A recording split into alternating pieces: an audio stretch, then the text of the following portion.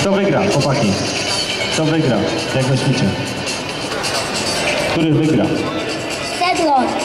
A ty jak sądzisz? Rucha Cedrona. no zobaczymy. Cedron ma za sobą publikę.